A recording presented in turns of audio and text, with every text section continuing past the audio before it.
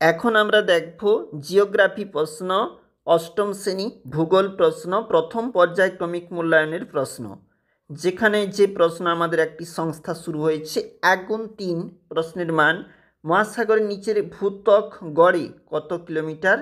দেখো, মায়ানমারের পোপা একটি ড্যাশ আগ্নেয়গিরির উদাহরণ, অবশ্যই দেখবে।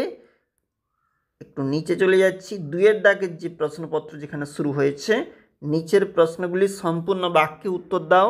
ওয়ান ইন্টু টু শিলামণ্ডল শ্রীলঙ্কা রাজধানী ভুটানের সর্বোচ্চ শৃঙ্গ বাংলাদেশের প্রধান বন্দর। এরপর তিনের দাগে দেখো শ্রীলঙ্কায় কি কি খনিজ পাওয়া যায়? কাকে কেন দারুচিনি দ্বীপ বলা হয়? তোমরা অবশ্যই দেখবে। চলে যাব আমাদের নেক্সট পেজ যেখানে রয়েছে। দেখো, ভারতে এমন দুটি রাজ্যের নাম যা তিনটি প্রতিবেশী দেশের সীমানাকে স্পর্শ করে।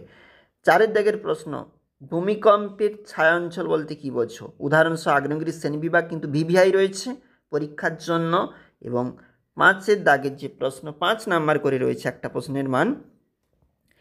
পাললিক শিলা কাকে বলে? শ্রেণীবিভাগ উৎপত্তি অনুসারে আগ্নেয় শিলার শ্রেণীবিভাগগুলি। অবশ্যই দেখে রাখবে গুরুত্বপূর্ণ প্রশ্ন।